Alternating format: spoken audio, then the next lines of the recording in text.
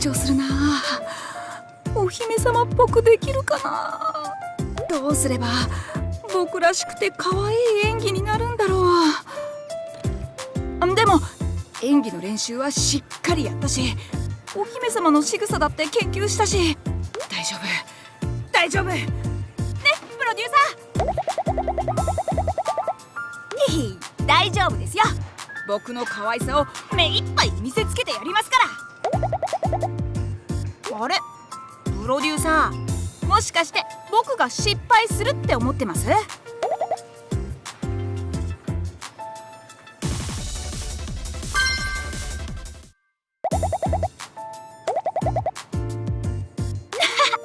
僕よりプロデューサーが緊張してどうするんですか？でも信じてるって言ってくれて嬉しいです。背中を押してもらって自信がつきました。僕絶対にこのお姫様役を勝ち取ってみせますからね。ヒヒプロデューサー期待しててください。今までで一番可愛い僕を見せてあげますよ。はい頑張ってきます。ああそうだ。その前にプロデューサー。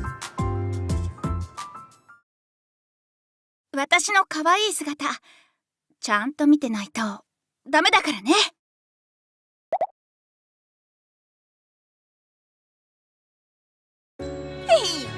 っくりしました？これが僕なりの研究の成果です。じゃあオーディション行ってきますね。勝ち取ってきますよ。